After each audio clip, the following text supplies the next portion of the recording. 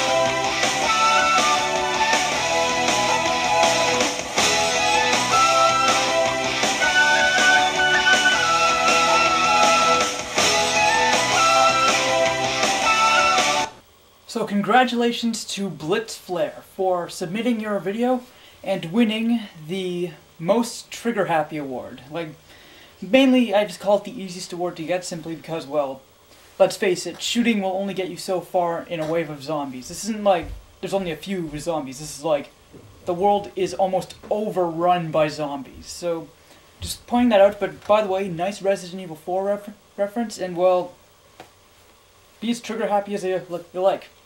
Alright, so anyways, our next winner is going to be for Best of Comedy, and I'd like to note that this is one, basically out of all of them, this one just wins hands down. There is no questioning about it. And I'd also like to note that I have watched this one video many times, because I just cannot stop laughing. Well, you stop laughing eventually, but you know, that happens with everything, alright? So, here's the video.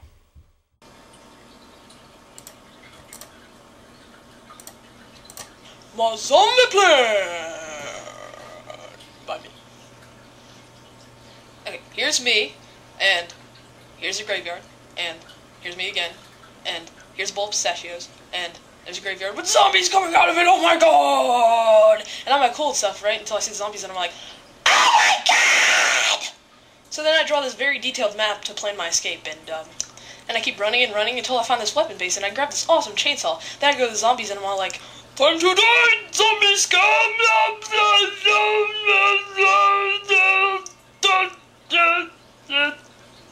The end.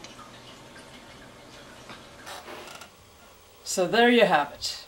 So congratulations to Hardcore Strikes Back for creating the best of comedy zombie plan. And as I mentioned, I cannot stop watching that. I love it. It's just so weird. Keep up your day job. You, you'll be good at it.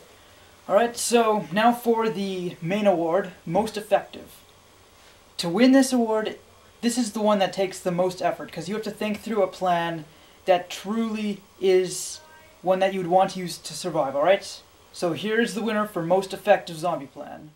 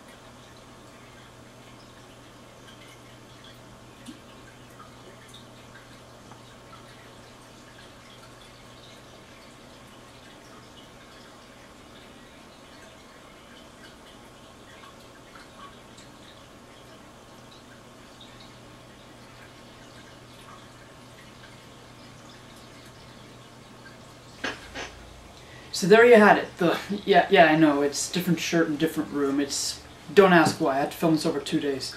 So there you had it. That was the winner of the most effective zombie plan. So congratulations to Dread Nine.